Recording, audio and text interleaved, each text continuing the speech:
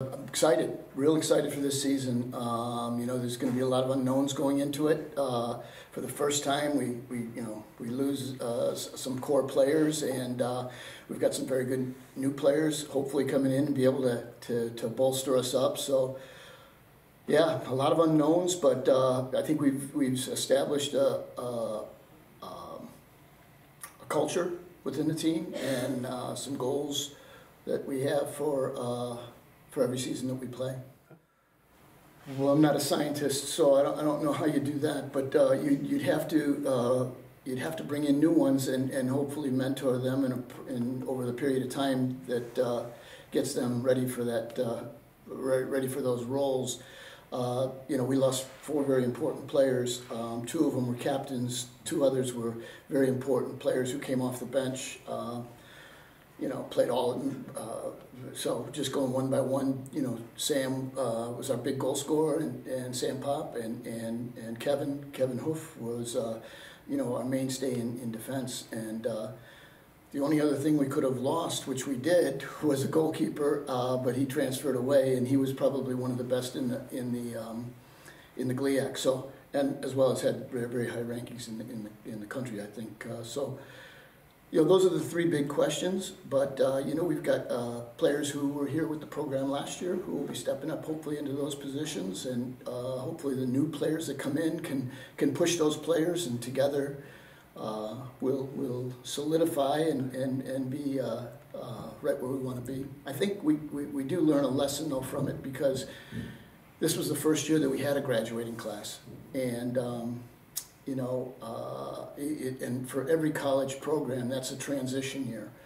Uh, for every other college program, and they have that transition year every year. But we, this was our first time, so there's a lot of unknowns as to how we'll respond. Uh, but I think the guys, the leadership that those other players brought, Nick Corenda, Carson, you know, uh, Kevin and, and Sam, uh, they're they're not going to be quickly forgotten.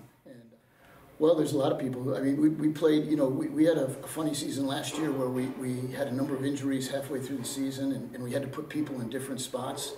Uh, I think there were times when we had center forwards playing as right backs. We had uh, center midfielders playing as, as uh, center backs. We had uh, uh, backs playing as forwards. We had reserve players who never played uh, in certain roles thrown into those roles because the the the the, uh, the injuries and um, yeah, I think that's that you know leads the way for them to be be uh, have opportunities to play with us. You know, uh, now in the fall, we had a couple guys that weren't eligible last year uh, that will be eligible this year, and so uh, I think that. Um, I mean, to name names, I'd say you look on the roster and you can see that there's uh, anybody on that roster uh, for this season will be able to play in numerous positions. Um, well, our goals are the same as every year. We, we want to win. We want to win. Uh, you know, we want to play well. We want to play, uh, you know, uh, not just attractive football or soccer, eh, but also uh, we want to play um, a real high tempo. Um, so that's you know, and then how well we do that will determine whether or not we reach our goals.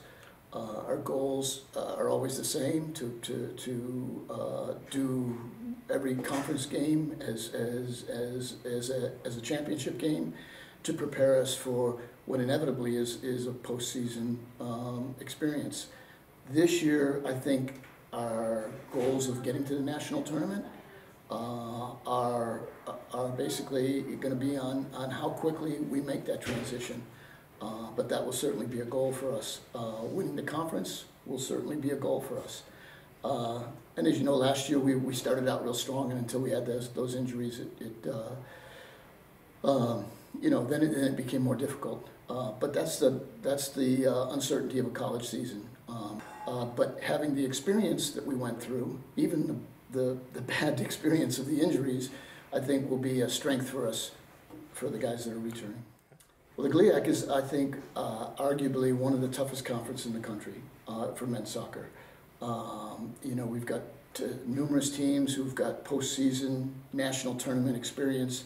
We play them twice a year. We only have eight teams in the conference. So, I mean, uh, uh, you know, it's it's 80% of our schedule. And uh, when you're playing good teams week in and week out, twice a weekend, uh, it, it makes for a, uh, you, you can't let up, eh, you know, anywhere along the way.